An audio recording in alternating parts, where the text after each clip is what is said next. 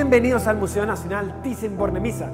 Mi nombre es Javier Santolaya, soy doctor en física y hoy vamos a disfrutar de un recorrido apasionante, increíble y vibrante gracias a Mastercard a través de la plataforma Priceless City. Y este cuadro de aquí, Arroyo en el bosque, me llama poderosamente la atención. Uno no puede evitar fijar sus ojos sobre ese árbol caído, el árbol muerto.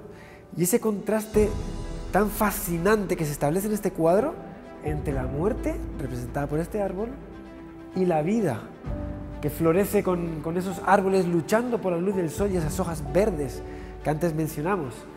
Vida y muerte conectadas y mejor que nunca por este árbol que cruza el arroyo, permitiendo el tránsito de seres vivos de un lado y el otro.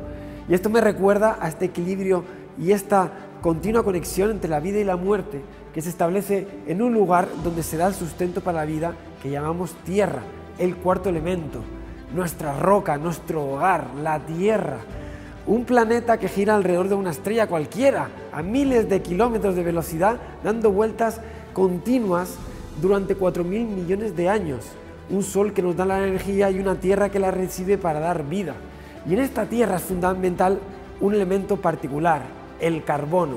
Es un elemento químico fascinante y es que debido a sus capas electrónicas permite muchas combinaciones para formar moléculas de todo tipo, lo que da lugar a lo que se conoce como la química orgánica, la química de la vida. La química de la vida dada por este elemento, el carbono, en un continuo cambio, en un continuo ciclo, conectando vida y muerte. Una tierra que, como vemos aquí, es un marco ideal para que florezca la vida. Está nutrida, continuamente con los elementos que hacen posible que esto sea así. Sin embargo, el ser humano está llevándolo al límite.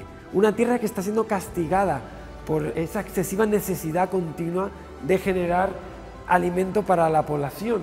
Estamos destrozando continuamente entornos naturales, estamos destrozando hábitats y llevando al terreno a la desertificación.